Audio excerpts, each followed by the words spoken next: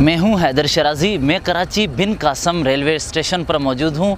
इस बिन Qasim railway station के अगर महल वकू की बात की जाए तो इसके साथ ही स्टील मिल आता है, पोर्ट कासिम आता है, एंग्रो फर्टिलाइज़र्स और दूसरी यहाँ वो इंडस्ट्रीज़ हैं जिसकी, जिनकी वजह से कराची 70 परसेंट से के करीब तकरीबन रेवेन्यू जनरेट करता है। ये इन इंडस्ट्रीज़ की वजह से है। आज बात करते हैं कराची रेलवे की और कराची सर्कुलर रेलवे के जो मनसूबे के हवाले से सुप्रीम कोर्ट ने कहा है कि उसे पाए तकमील तक पहुँचा जाए पहुँचाया जाए।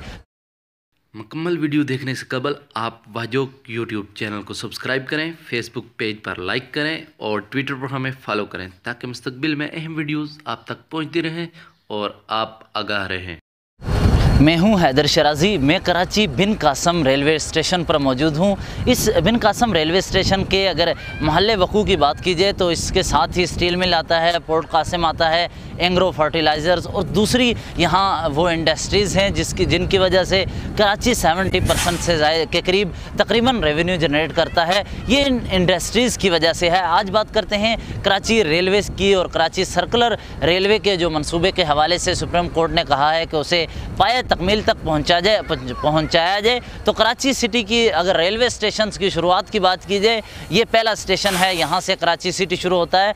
और अगर रेलवे जो सर्कुलर रेलवे कराची की है, इस पर आते हैं। इसकी बात कीजिए तो अब बात की जा रही है कि सी पैक में इसे शामिल किया जाएगा। और इसे सर्कुलर रेलवे को 140 किलोमीटर तक बढ़ाया गया था। और इसकी इब्तदा 1962 में हुई थी, जिस वक्त कराची सिटी स्टेशन और ड्रिग रोड में इस मनसूबे की तकमील आई। उसके बाद 1969 में 140 किलोमीटर तक रेल सर्कुलर रेलवे को बढ़ाया गया और उसमें तेईस नए स्टेशन लाए गए। तेईस नए स्टेशन में पूरा कराची कवर हो रहा था और कराची की एक बड़ी तादाद सर्कुलर रेलवे की वजह से जाती थी। अब ये हो रहा है कि कराची में ट्रैफ़िक पुलिस ट्रैफ़िक का जो संगीन मसला है, वो हल होने के लिए, वो हल तलब है, हल हल होने के लिए उस पर कोशिशें की जा रही हैं। इसमें सबसे अहम किरदार अदा किया जा सकता है सर्कुलर रेलवे की बहाली। इस पहले स्टेशन से लेके लास्ट स्टेशन, कैंट स्टेशन हो गया, या सिटी के कोई भी एरिया आ जाता है। वहाँ तक यहाँ मौजूदा हुकूमत को कोशिश करनी होगी। सुप्रीम कोर्ट का तो नोटिस है,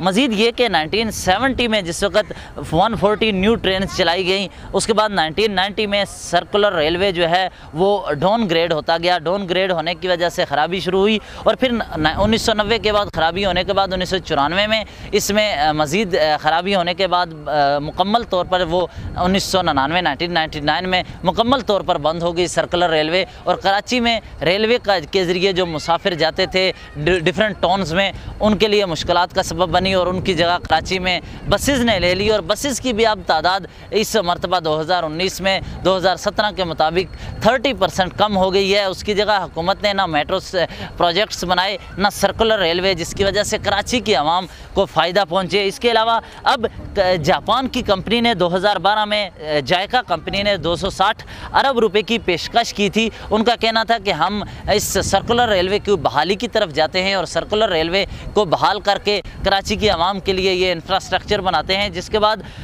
ये हुआ कि डिमोलिश करने के लिए जो जिन इलाकों पे कब्ज़ा था जो सर्कुलर रेल, रेलवे की ज़मीन थी उस पर कब्ज़ा किया गया था।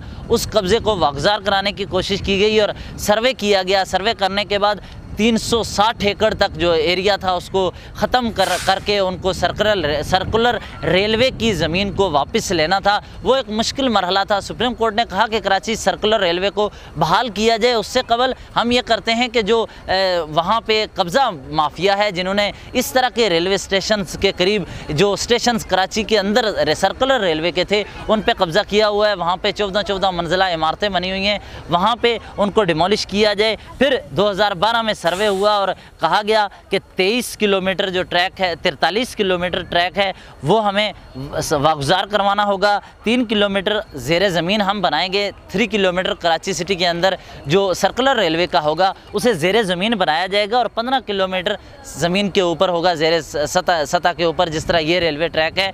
इसी तरह उनका ये मनसूबा था कि सौ ट्रेनें चलाई चलाई जाएँगी, चलानी चलानी थी इस मनसूबे के तहत, लेकिन वो चल ना सका। इसी हवाले से अगर सर्कुलर रेलवे की बहाली हो जाती है तो इसके मनसूबे की बात की जाए तो नाजमाबाद से कैंट स्टेशन, नीपा से बल्दिया तक आधे घंटे में जहाँ, पहुँच जाते हैं, अगर हम सर्कुलर रेलवे चलाई जाए, जहाँ एक एक घंटा लगता है। ड्रिग रोड से चंदी, चंडीगढ़ तक 19 मिनट में सर्कुलर रेलवे पहुँचा सकती है। बल्दिया से अगर हबीब बैंक प्लाजे की बात की जाए तो 10 मिनट के अंदर अंदर वो ट्रेन वहाँ तक पहुँचा सकती है मुसाफिरों को। इसके अलावा मनसूबा 2017 में तकमील होना था, लेकिन 2019 हो चुका है। अभी तक तकमील नहीं हो सका, मुकम्मल नहीं हो सका। इसके अलावा मनसूबे पर सात साल अदालती नोटिस जो था इसका कि सर्कुलर रेलवे को बहाल किया जाए वो अदालती नो, नोटिस सात साल तक रद्दी की टोकरी में रखा गया। और इस सर्कुलर रेलवे की बहाली के लिए कोशिशें की गई। और वन परसेंट काम हुआ नाइन्टी नाइन परसेंट काम नहीं हुआ। इसके अलावा ये सर्कुलर रेलवे जो है इस ये सेवेंटी परसेंट आबादी को कवर करना था कर रहा था। और इस पर काम नहीं किया सियासी जमातों ने नहीं किया। वो पीपल्स पार्टी इकतदार में हो एम पावर में हो या कोई भी सियासी जमात हो उसने कराची की आवाम के लिए सर्कुलर रेलवे की बहाली के लिए कोशिशें है की। इस मरतबा अदालती नोटिस के बाद शेख रशीद अहमद एक्टिव हैं कि अब सर्कुलर रेलवे की बहाली की तरफ़ जाएँगे और अब सेवेंटी परसेंट आबादी को फ़ायदा पहुँचाने वाले ये मनसूबे पाया तकमील तक पहुँचाए नहीं जा रहे। इसके पीछे कौन से माफिया है? वो भी एक्सपोज किया जाएगा इन मेरी अगली वीडियो में। लेकिन 2004 के शुरू की बात की जाए 2004 में ये मनसूबे को बेहतर करने की कोशिश की गई। 20 स्टेशन या जो जो ऐसी जगह हैं जिन पे कब्ज़ा माफिया का राज है, कराची के अंदर वो जो तेईस स्टेशन थे, उनमें से 20 स्टेशन पे कब्ज़ा माफिया है, जो इस सर्कुलर रेलवे को चलने नहीं दे रहा, कब्ज़ा किया हुआ है। उन्होंने बिल्डिंग्स और टावर बनाए हुए हैं इसी रेलवे ट्रैक के ऊपर, और ये कराची सिटी का मामला आते हैं दो में कहा गया कि दो 2020 तक ये मनसूबा पाया, तकमील तक पहुँचाया जाएगा और 23 किलोमीटर इजाफी इसमें ऐड किया जाएगा कराची सिटी के अंदर। और जो इलाके नए बन रहे हैं, जो डिवेलपिंग एरियाज़ हैं, जो अभी डिवेल्प हो रहे हैं, वहाँ पे 20 किलोमीटर तिरतालीस किलोमीटर इजाफी जो है, रेलवे लाइन्स बिछाई जाएँगी और 24 न्यू स्टेशन बनाए जाएँगे। लेकिन अभी तक वो बनाए नहीं गए। और माजी, और मज़ीद ये कि उन्होंने ये कहा था कि सर्कुलर रेलवे जो ये रेलवे ट्रैक है इसके अलावा कराची सिटी के अंदर, रेलवे ट्रैक के अंदर 1.8 किलोमीटर के बाद हर स्टेशन होगा। जैसे कायदाबाद पर अगर स्टेशन है तो 1.8 किलोमीटर चलने के बाद नई जगह आगे अगर मलिर पंद्रह आता है तो वहाँ पे ट्रैक बनाया जाएगा। इसके अलावा इस, ये जो रेलवे ट्रैक था, रेलवे ट्रैक में सुप्रीम कोर्ट ने कहा था कि एक माह का टाइम उन्होंने दिया कि मई, अब जून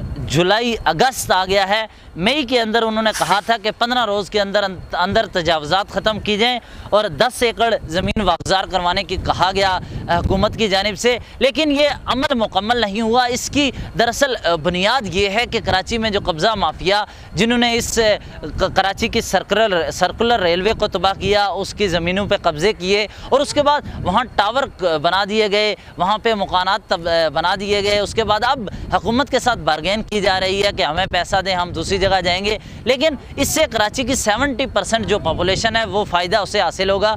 ये जो कराची इंटर होते हुए ही पहला स्टेशन आता है, यहाँ से लेकर कराची की जो ढाई अरब आबादी है, एक तखमीने के मुताबिक, इस वक्त तो हकूमत का ये कहना है कि डेढ़ करोड़ से तकरीबन के लगभग आबादी है, लेकिन नादरा का और मरदमशुमारी के दरमियान एक ये हुआ था कि नादरा का जो का जो फैक्ट्स एंड फिगर हैं, वो मुख्तलिफ़ हैं, मरदमशुमारी वाले कहते हैं कि वो मुख्तलिफ़ हैं, इस पर सियासी जमातों की भी मुख्तलिफ़ राय है, लेकिन सेवेंटी परसेंट अगर देख लिया जाए तो एक करोड़ अवाम इस सर्कुलर रेलवे के मनसूबे से फ़ायदा उठाएँगी। आज कराची से मेरी कोशिश ये है कि कोशिश ये थी कि इस सर्कुलर रेलवे के मनसूबे के तमाम मामला बताएँ, कब से शुरू हुआ, कब अख्ताम को पहुँचा। इस, इससे कितने लोगों को फ़ायदा हो सकता है? जिस वक्त कराची में तेईस स्टेशन अगर बन जाएँ, कराची की सेवेंटी परसेंट आबादी कनेक्टेड हो जाए तो रोज़गार बढ़ेगा।